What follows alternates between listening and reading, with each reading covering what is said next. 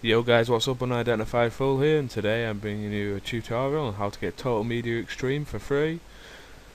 Um, we'll start off where what you need to do first is click on the WinRAR link that I've left below, and you'll get this screen here.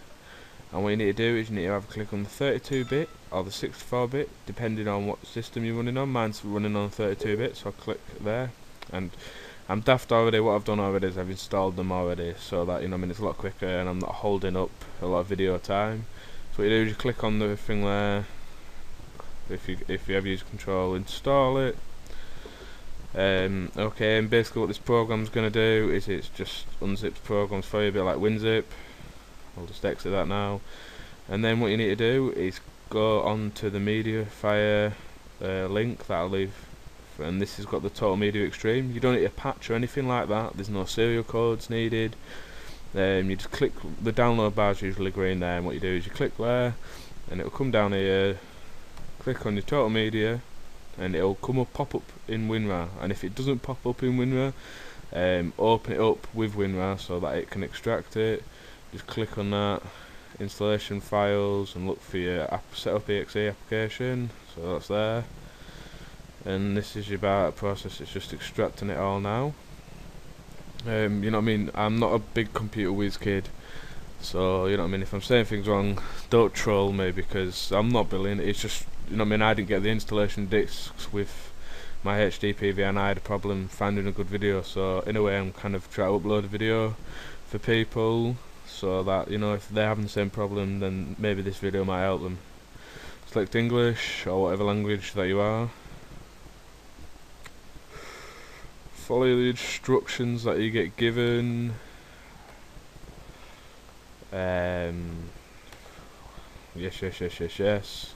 Sorry about the slow and boring bit. Um, I mean? When I got my HD PVR, I did get the installation disc because I bought my HD PVR second hand and I wasn't going to pay for it off the Hauppauge uh, website. Looked on YouTube and there were several different videos. Some were good and some were bad. And you know what I mean. Now that I'm up and running HD PVR, I thought maybe it's a good idea to help people that may be having the same problem that I was. Um, you know I mean. I'll just close WinRAR now.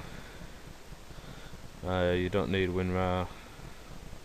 Um, where's that installation gone? There, it's 55%. What it will do basically is it's installing it into your desktop, as you can see there. Everyone like my little background Batman logo. I have my screen going on here. Finally got my laptop working so it's clear. Last time on my laptop all this was full of icons I know, I know really I should clean it all up and not have so much crap. But it'll get filled up again. You end up downloading more programs when you're doing montages and downloading more add-ons for Sony Vegas and all sorts. I'm using Sony Vegas 10 at the moment. Um, I need to get Sony Vegas 11. I can't really be bothered to crack Sony Vegas 11 and 10 is good enough for now. Um, just coming to the end of the installation. Yeah, my laptop's not brilliant. Click on finish. Then click on Total Media Extreme and it should come up with an update. You know what I mean? I have had on this program on before. I did remove it. Record video. There we go. Send. It's got an update. Just let me exit this. Sorry about that. Oh, piss off. Right the update is there. Say yes. Close Total Media Extreme so it can do it. And what I'll do is I'll just turn my PlayStation on. Just ink. Ah, they don't matter. I'm not going to turn my PlayStation on. It's downloading now. Um, and what it usually says after this is it usually says that you need to download the driver. And when I did install the driver, I've just removed all the programs so that I can do this tutorial and I can show you all the way through. So hopefully people can follow what I'm doing and not have a problem following the steps that I'm doing rather than having the program installed and this is what you do but I'm not going to install it. So I thought if I uh, remove everything and install it again it would be easy for people to maybe follow.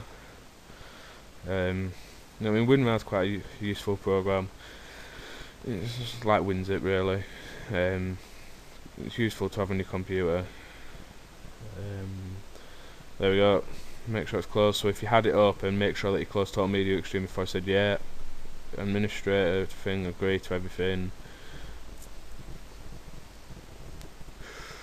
Just going to install all these bits and bobs auto detect I have my HD PVR already plugged in it's turned on. PlayStation 3 connected turned on though so I might have to turn PlayStation on I'll let you know on that one. Sorry about the slow uploading guys. Um, what I'll do is I'll leave a link uh, check out my Scream Dubstep remix that's up. My friend Ramby made it. Great remix. It's hit 2,980 views which is awesome. Thank you very much. He's great little thing. Out if you click on the video his Facebook's underneath. Go check him out. He does some great music guys. Definitely worth checking out. I've also because I've got my laptop back and it's fixed I'm starting to upload videos I've just loaded, uploaded hit markers. what the fuck? Um, check it out. I'm not going to restart my computer now because obviously my commentary will finish finish on that.